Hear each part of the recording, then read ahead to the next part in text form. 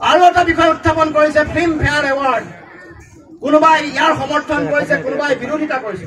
কিন্তু ৰাইজে প্ৰশ্ন কৰিবই যে যেতিয়া তোমালোকে বানপানী হয় বান গৰা খহনীয়াত আক্ৰান্ত মানুহৰ কাৰণে ভিক্ষাৰ জুলুঙা পাতি দিয়া।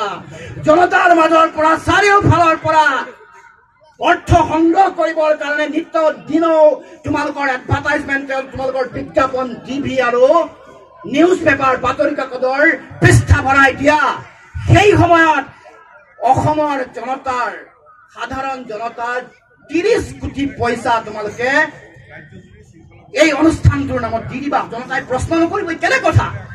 জনতাই প্ৰশ্ন কৰাৰ সম্পূৰ্ণ হক আৰু অধিকাৰ তেওঁলোকৰ আছে। জনতাই প্ৰশ্ন কৰিবই প্ৰশ্ন কৰিবই এই ফিল্ম ফেয়াৰ এৱাৰ্ডে কেনেকুৱা ধৰণৰ সা সুবিধা অসমৰ জনতাক দিব?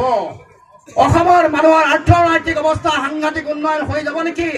অসমৰ পৰ্যটন ভাল হৈ যাব নেকি এই প্ৰশ্ন মানুহে উত্থাপন কৰিবই কৰাৰ সম্পূৰ্ণ অধিকাৰ অসমৰ জনতাৰ আছে। কাৰণ এয়া এই ত্ৰিশ কোটি টকা অসমৰ ফালোৱা সজোৱা কৃষক বনোৱা কৰ্মচাৰী বিষয়া ঠিকাদাৰ কৰ্মকৰ্তাৰ পইচা তেওঁলোকে শ্ৰমেৰে তেওঁলোকৰ তেজৰ তেওঁলোকে ঘাম মাটিত পেলাই শৰীৰৰ ঘাম তেজ পানী কৰি কৰা তেওঁলোকৰ এই ধন তেওঁলোকে দিয়া ৰাজহৰ ধন। তোমালোকে হিচাপ দাখিল নকৰাকৈ এনেকৈ অসমৰ জনতাৰ সৰ্বসাধাৰণ ৰাইজৰ ধন আৰু সম্পত্তি হৰাশ কৰিবা আৰু জনতাই প্ৰশ্ন নকৰিব সাধাৰণ ৰাইজে প্ৰশ্ন কৰিলে তোমালোকে বেয়া পাবা। এই কথা হ'ব নোৱাৰে। ইয়াৰ উত্তৰ দিব লাগিব। উত্তৰ অসমৰ জনতাৰ ওচৰত জবাবদিহি অসমৰ চৰকাৰ।